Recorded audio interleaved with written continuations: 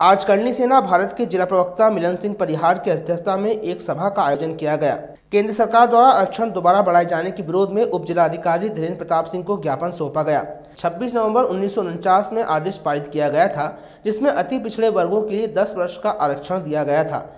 लेकिन आज राजनीतिक दलों ने स्वयं के लाभ और वोट के लिए प्रत्येक दस वर्ष के बाद संसद में बढ़ाया जाता रहा। ये सिलसिला सत्तर वर्षों से चला आ रहा है, जो कि संविधान और समाज के नियम के मुताबिक गलत है। क्योंकि भारतीय संविधान के अनुसार सभी को समानता का अधिकार है, किसी जाति, धर्म विशेष को लाभ देने की अनुमति नहीं है। अगर इस पर विचार नहीं किया गया तो करणी सेना पूरे भारत देश में आंदोलन करेगी।